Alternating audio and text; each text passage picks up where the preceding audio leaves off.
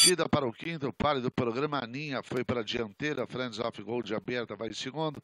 Bambi Blonde terceiro. Acossada por Filadélfia Frida. Depois Ellen Caliente, assim com turma ali na Charme, cruzaram o disco na primeira volta, as de fora vão dominando a carreira, Friends of Gold é dominada pela Philadelphia Freedom, Philadelphia Freedom foi para dianteira, Friends of Gold em segundo, Bobby Blunt terceira linha em quarto, são as quatro primeiras colocadas, depois aparece turma ali na Charme, último Ellen Caliente em fila indiana, cruzaram a seta dos 1.400 metros finais e a ponta é do meia dúzia, Philadelphia Freedom, 3 e 4 corpos, já entraram praticamente pela reta oposta e Philadelphia Freedom é a ponteira. Friends of Gold vai no segundo lugar. A Ninha retoma o galão, mas lá por fora Bobby Blonde vai em terceiro. A Ninha corre quarto. Turmalina Charme em quinto. Mais perto ela em caliente. As quatro últimas vão se agrupando, vão para a segunda parte da reta oposta e a ponta é sempre do meia dúzia. O meia dúzia Philadelphia Freedom, dois, três e quatro. Friends of Gold em segundo.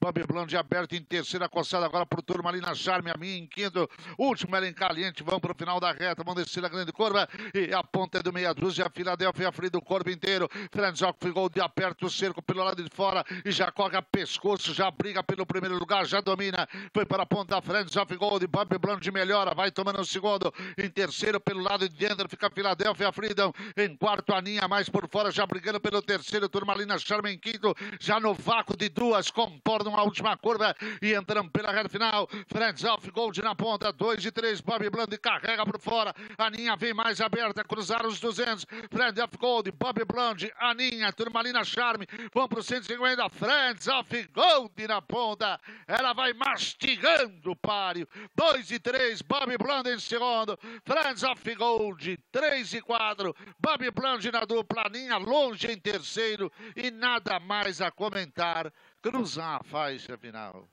5-3-2 a ordem de chegada. Vitória fácil de Friends of Gold.